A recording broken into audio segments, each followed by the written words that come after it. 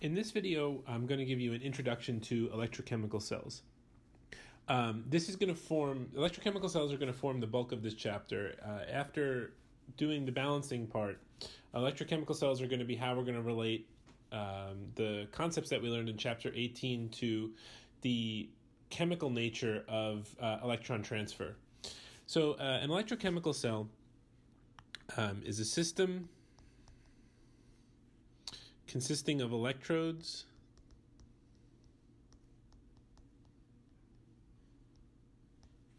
Uh, dipped into an electrolyte. And um, this is going to allow for a chemical th- this, so this setup is going to allow for a chemical reaction to take place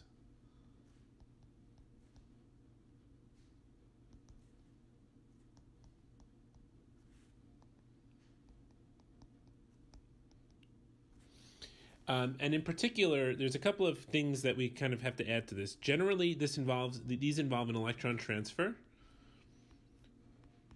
So, when we're talking about electrochemical cells, we're talking about reactions that are redox in nature. So these involve an, elect- an electron transfer from the anode to the cathode. Um, and then also, these can either generate or consume electrical energy.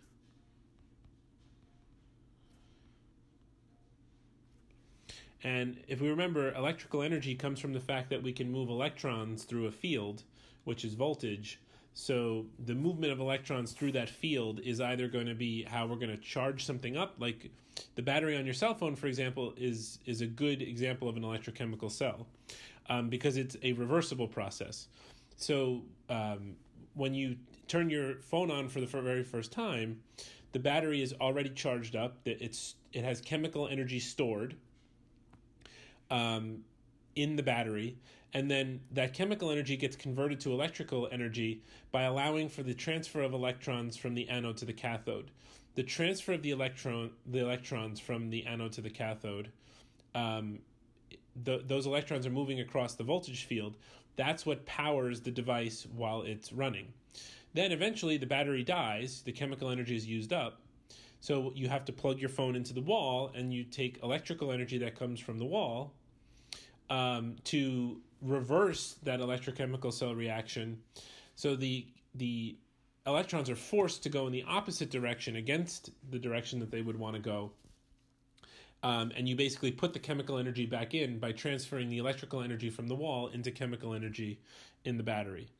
Okay, so there are two types of cells. So, um, and we're going to relate these cells to exactly what I was just talking about.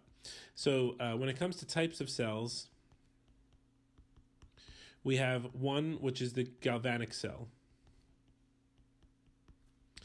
So these are going to these types of cells are spontaneous, meaning that if you hook them up, the reaction will take place without um, any uh, external force, right?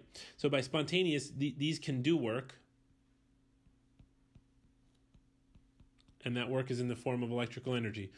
So delta G is going to equal a minus um, we know that from the previous chapter. The K is going to be definitely greater than 1 because we're going to favor products. And um, the amount of work that can be done is proportional to delta G. So the the the smaller delta G is the bigger the negative number is, the more work the cell can do. Um, so those these types of cells they're the ones that generate energy so the the analog of this is a a battery in discharge mode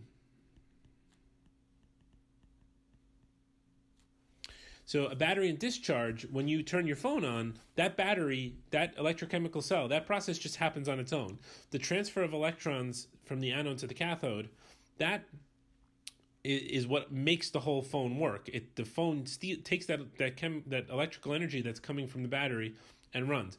We don't have to do anything to make that happen besides hit the on button, which just allows the opens the which closes the circuit and allows the electrons to flow. So then the, an electrolytic cell is the opposite.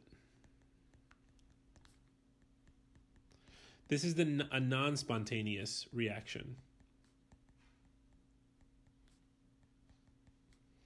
So this requires work,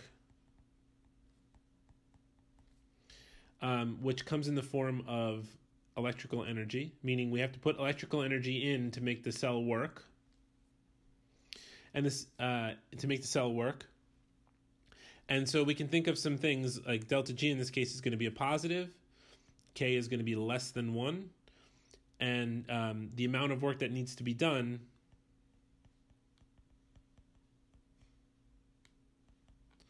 done on the cell is again proportional to delta G. So in this case, the bigger the positive is for the delta G, the more electrical energy you have to put on. And so this would be your battery in charge mode.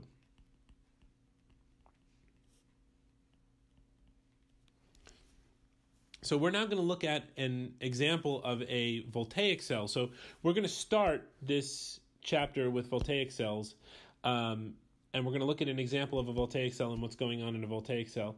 Then later on, we'll look at electrolytic cells. So this slide shows a typical depiction for a voltaic cell. So um, I've, I've kind of broken down all of the main parts of the cell and then we're going to take a look at what's going on, kind of zoom in on the electrodes and uh, see what's going on.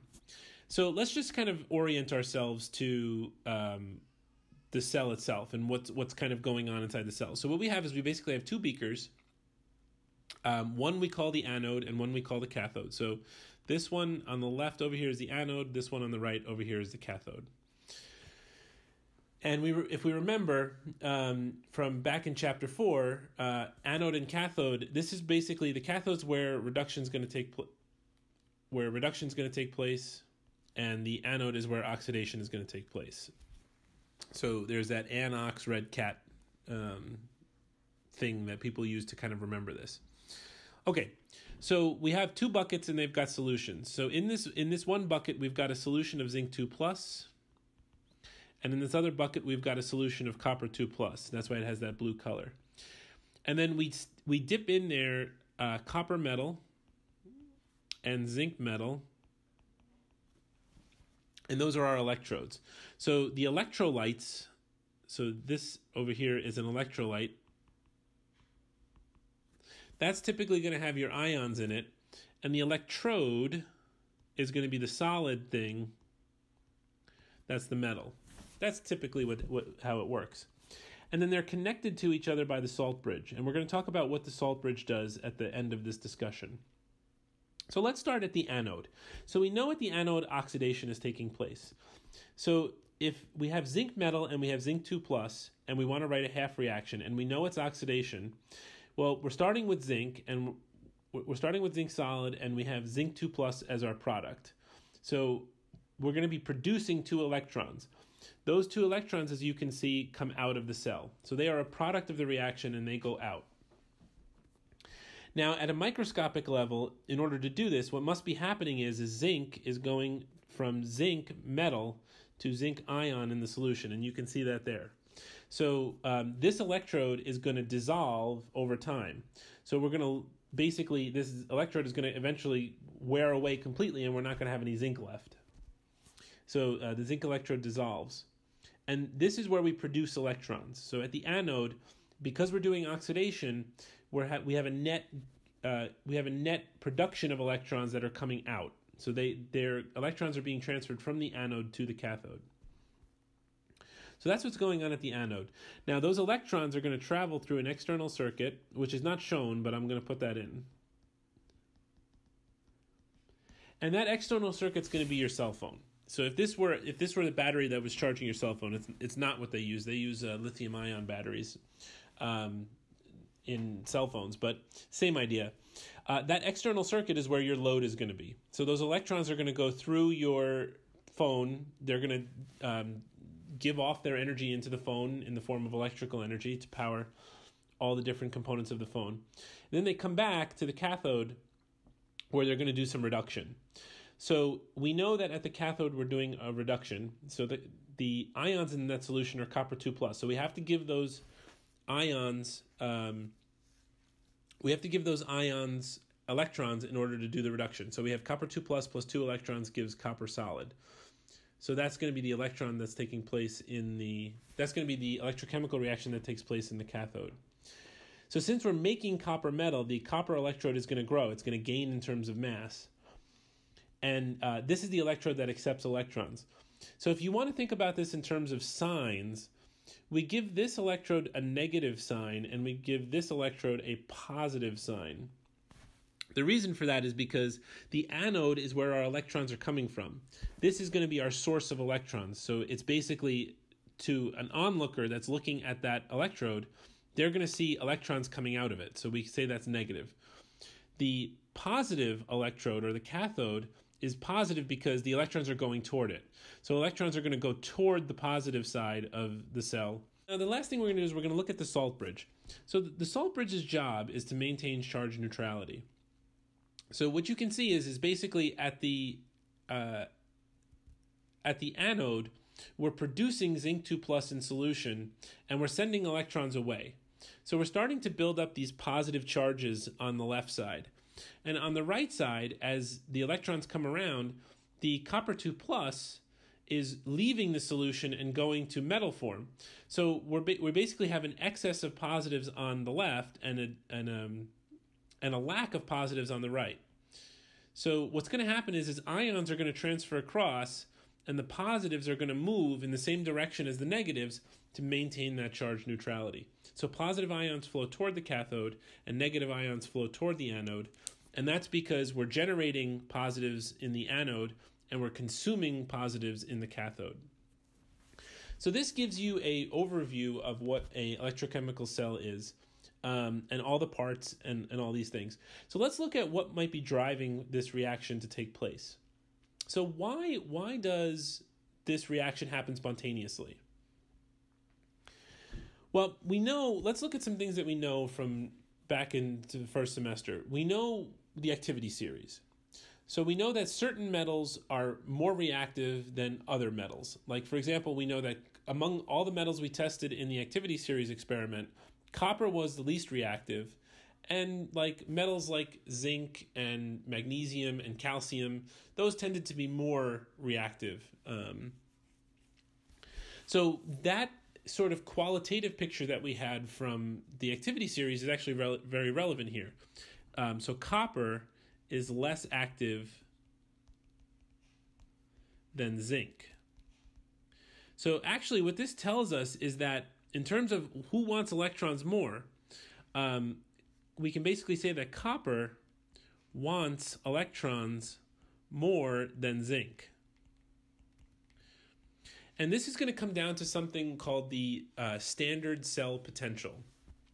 The standard cell potential is basically a measurement of how much a cell wants an, an electron.